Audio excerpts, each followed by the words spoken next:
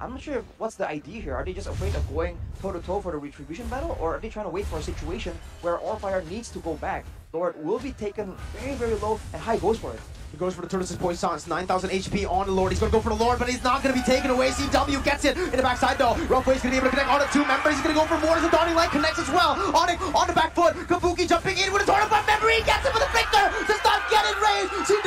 CW still running away with a Helmet Kiboy with a perfect match, but it is going to be Kabuki. Oh. Gape getting the closer, and that's going to be CW taken down. Four members for nothing. Aura, they lose the Lord though, so now they will not be able to end. Can they?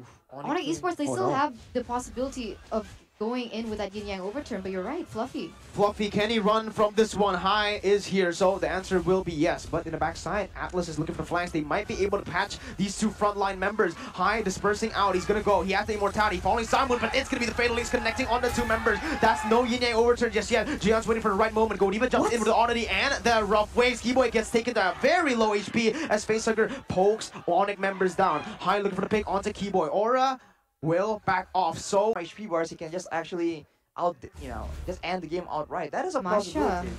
Yeah, but it depends. Oh, oh no, oh no, this is gonna be good actually for the side of Onic Esports as they have just picked High off. He Solo. still uh, gets out of the Thursday Poisons, but Dreon picks it up with no jungler. This is it. Aura, they need to defend. Fluffy needs to be careful here. They do not have retribution, but Onic actually choose to back up. 70 will have to come down to the mid lane. That's the damage reduction on the Lord. They're gonna try to poke it down slowly but surely. Godiva, Facehugger, and Kabuki just munching onto this Lord. As the, that's gonna be the Dawning Light connecting. Kiboy using the light. Fatal Links. Godiva jumps in for the damage, but it is gonna be everyone burns it down. High will not be able to survive, but he will actually be able to survive. That's the Evolved Lord taken out, and no one was picked off aside from Fluffy. Aura can still defend. Just play with the waves properly. This is the empowered minions though, so Onic Oh, might just be able to end this game. They're gonna go in for the base. That's gonna be a lot of damage plays, and there you go! Onic will secure the second MSC ticket after a comeback, after a turn. Onic, they are tenacious and they will knock Aura out of the playoffs. Say hello once again to RRQ Hoshi in the grand finals.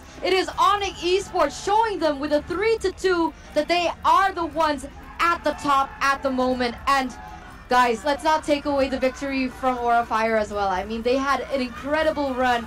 Top 3 for the first time. Second time in the playoffs, already a top 3. That's already something to be extremely